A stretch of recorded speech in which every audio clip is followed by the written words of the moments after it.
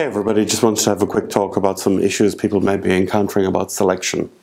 So um, just my, the thing that I get mostly wrong, and I get wrong all the time is when I have an if statement and I have the condition, I forget something at the end.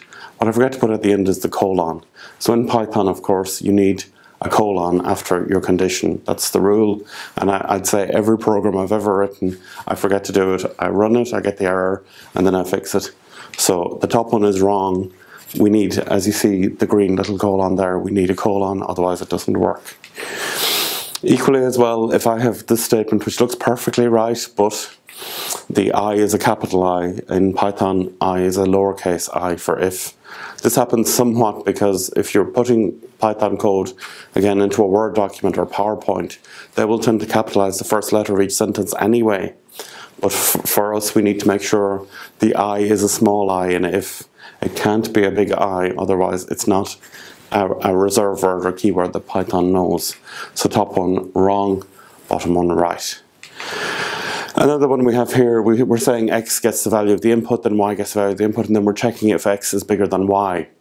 The x in this case, though, is a small x when we're reading it in, and then it becomes a big x in the comparison. And again, that's, that's no good.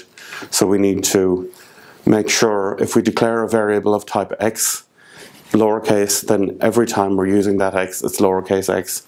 If we call a variable is prime with a capital I and a capital P, then it must be capital I, capital P everywhere because Python is what's called case sensitive. It, it thinks capital X is a different variable from small x, so you need to make sure all your capitalization is correct.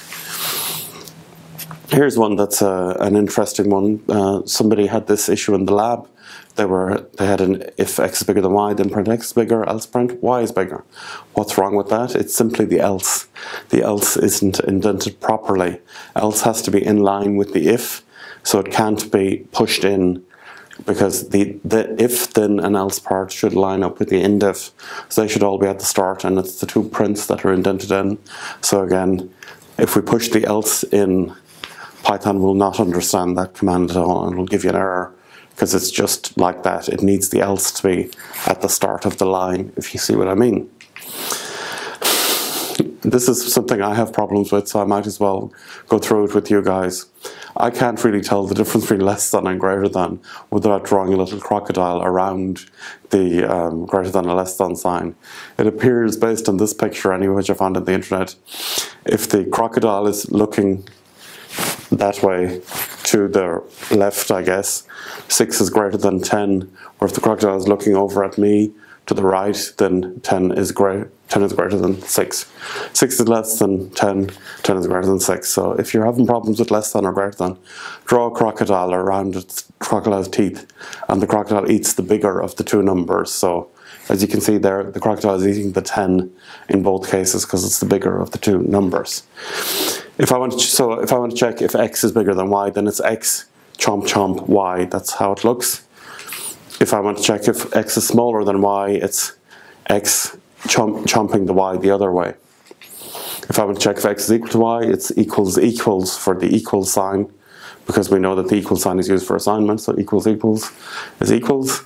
If I want to check if x is not equal to y, it's simply x exclamation mark uh, equals y or pling pling equals y sometimes it's called.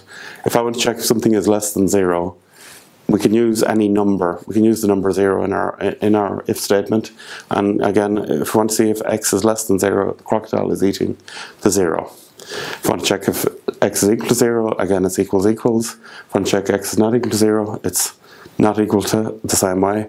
If, if I have a, an instruction to type in yes or no, type in y or, or, or in, and I want to check that they type in y, I read in the value using the input, then I go if x equals equals inverted commas y. So have they typed in the letter y, or have they typed in the letter in for no? Maybe I want to check if it's not equal to no.